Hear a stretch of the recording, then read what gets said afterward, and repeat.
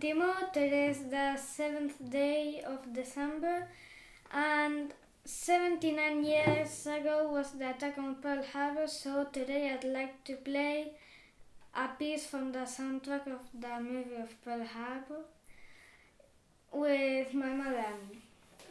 Y me gustaría dedicar esta canción a mi tío Abel, que hoy es su cumpleaños.